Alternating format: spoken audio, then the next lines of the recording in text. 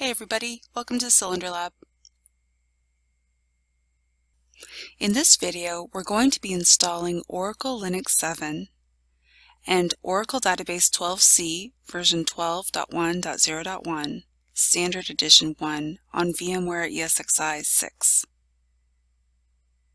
This video is part 2. Earlier in part 1 we created our VM and installed the operating system. In part 2 we're going to be preparing the server for the Oracle installation.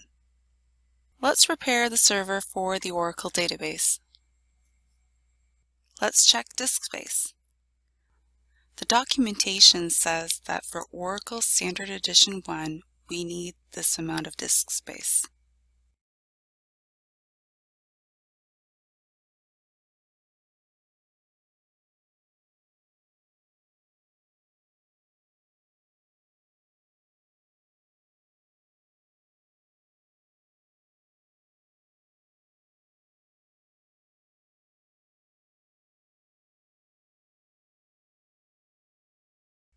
Now we'll check memory. The documentation says we need a minimum of 1 gig of memory. The recommended is 2 gigs of memory or more. Check memory. Now we'll check swap. The recommendations for swap space is this, between 1 gig and 2 gigs, they would like to see one and a half times. Between 2 and 16 equal.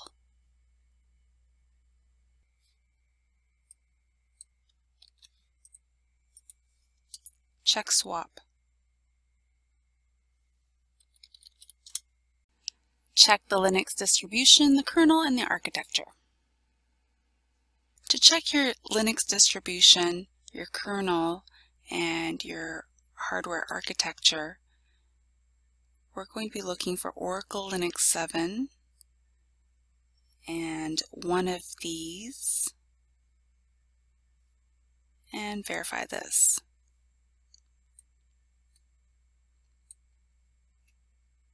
With this command, I'm verifying my Linux distribution. With this command, I'm making sure that it's 64-bit. And with this command, I'm checking my kernel. Install required packages. According to the documentation, these are the packages that are required.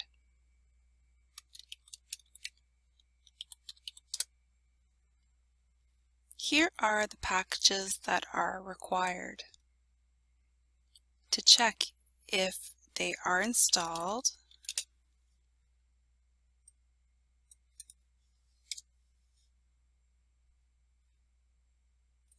do this.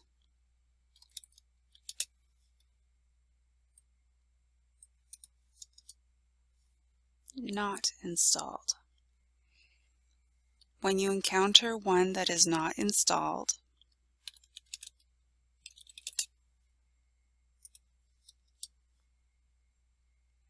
do yum install and then the package.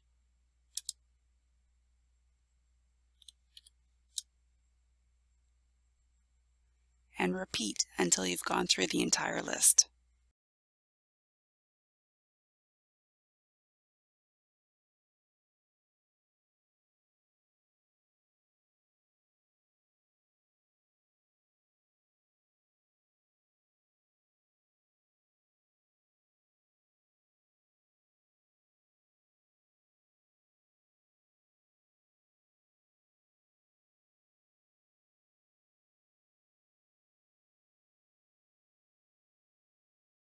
Now we create required groups in user. The documentation says that we need the following groups and user. I'm going to create oinstall, DBA, and the Oracle account. I'm not going to be doing this.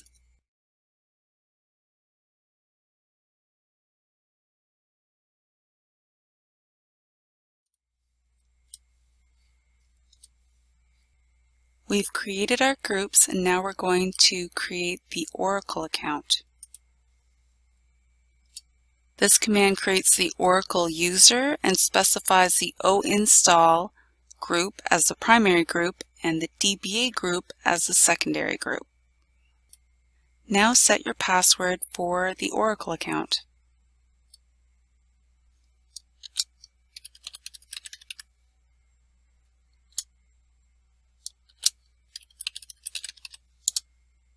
And we can do a little sanity check. The UID, group ID, there we go. Kernel parameters. So a couple notes before we get started. What we're going to do is we're going to review some kernel parameters and determine if any need to be changed. If the current value of a parameter is higher than what Oracle is suggesting for the minimum value, then we're not going to change it. And also worth noting is that these kernel parameters are minimum values only, and for a production system, they will likely need to be tweaked.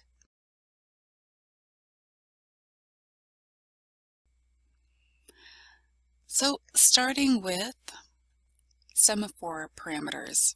The minimum recommended values are here. The command to check it, or check them, is here. My values are here, and this here needs to be increased.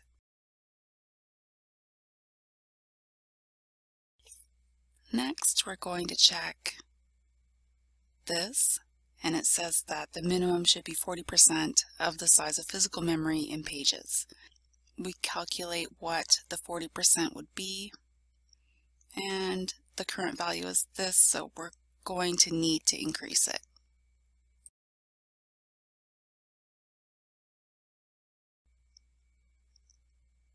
This value here should be half the physical memory in bytes. We do the calculation here and this will need to be increased.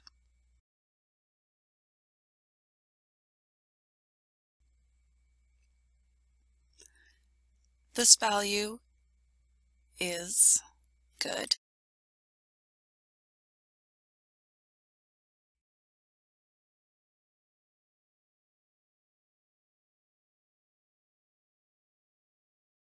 This value needs to be increased.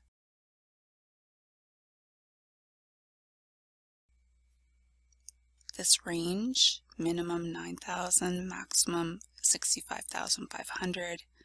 The range will need to be widened.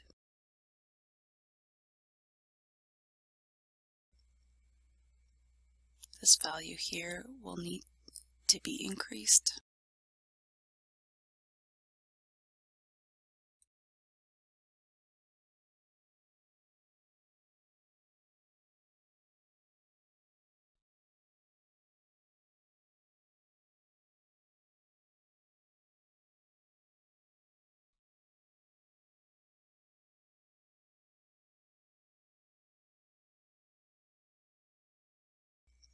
And this one is good. So now we know what needs to be changed. We're going to go ahead and do that now. We're going to edit this file here.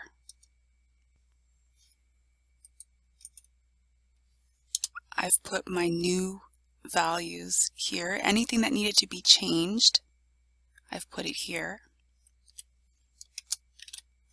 Save my file. By putting my changes in this file, the values will persist when we reboot the machine. To change the values now on our system, we're going to do this. Review the output, make sure everything's good, and now we're done with kernel parameters. Yeehaw! Now we're going to have a look at resource limits for the Oracle software installation user. In our case, that's the Oracle user. So the documentation talks about these four different areas. No file, the soft limit, the hard limit, number of processes, soft limit, hard limit, stack, soft limit, hard limit, and then there's a blurb about Memlock. We're going to go over these one by one. So it's important to log in as the Oracle software installation owner now, usually the Oracle user. And so the first one we're going to look at is the open file descriptor. And when I did, or you check it with this command here. When I did it, I got this for the soft limit, which is fine. For the hard limit, I got this number, but they're recommending this. So this will need to be changed. For the next one, the number of processes available to the Oracle user the soft limit is set to this and the hard limit is set to this. So some changes will be needed here. The size of the stack segment of the process, soft limit, hard limit. So I'm going to increase this to this value and this by default is unlimited and although it says at the most it should be this it's already set to unlimited, so I think I'm just going to leave it. And then finally, there's this about the maximum locked memory limit, memlock. It says at least 90% of the current RAM when huge pages memory is enabled, and at least 3 gigs when huge, huge pages is disabled. So I did this command here to see everything and set to 64K right now. Now this is straight out of the document titled Oracle Database Quick Installation Guide 12C Release 1 for Linux 64-bit. Um, we are not using huge pages. And setting this to 3 gigs um, when huge pages is disabled seems odd to me when I don't even have that much physical memory. Um, I tried to go on the internet to find more information about it, to find something that supports this claim, but I couldn't find anything. Anything I did find about Memlock was all related to huge pages, so I'm going to skip over this and just see if the Oracle installer complains about it, and if it does, then we'll deal with it then. So now it's time to modify this file It should be done as the root user because the Oracle user does not have permissions to edit the file. And I'm going to be putting this into the file, save the file, and then afterwards you'll need to uh, log out your Oracle user, log back in for the changes to take effect. You should make sure you do this step before you proceed with the installation.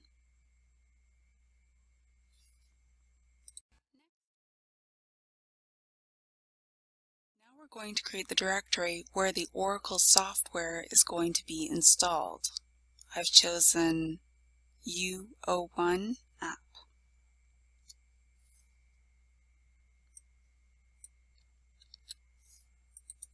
Ownership.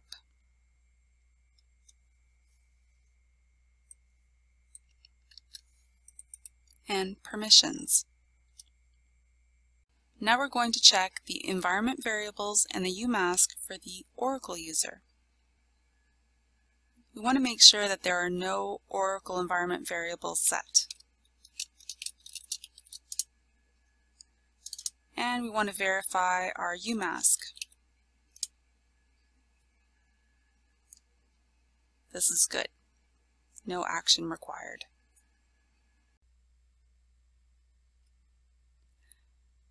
As root, do the following command. Now note that if you reboot the machine between now and the time that you actually begin the Oracle installation, you'll need to repeat this xhost plus command. After you've done the xhost plus command, you should go ahead and do a sanity check and try to run the xclock utility. If you find it's not installed, you can go ahead and do a yum install like you see on the screen. When you try to run xclock, you should see a little GUI window like this.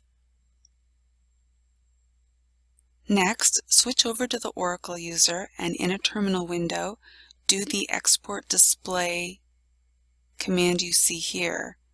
So export display equals colon 0 dot 0. After you've done that, do the xclock command and you should see a little GUI window as the Oracle user. If you don't, then you should try to troubleshoot this. I'm going to change my screen resolution to this to satisfy the installer.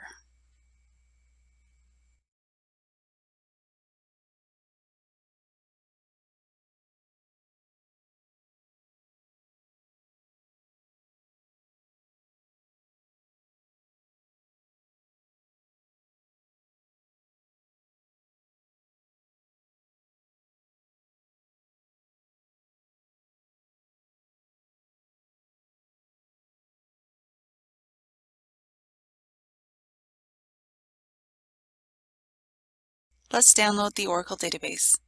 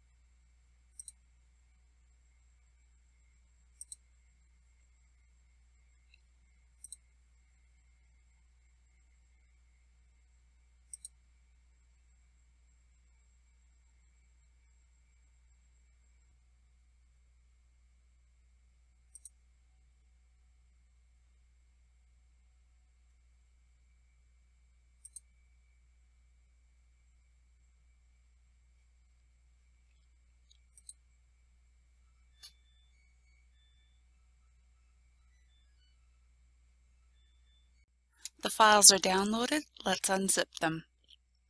The files are located here.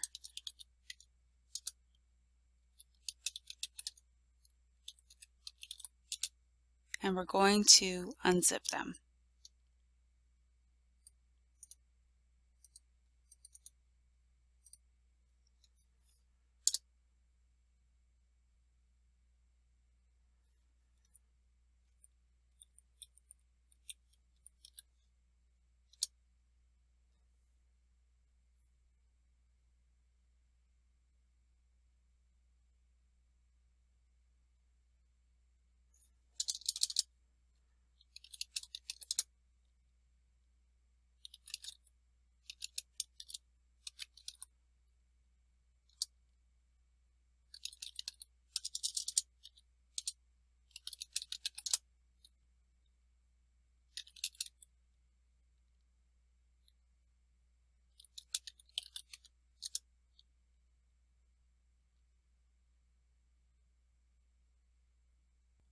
That concludes part two.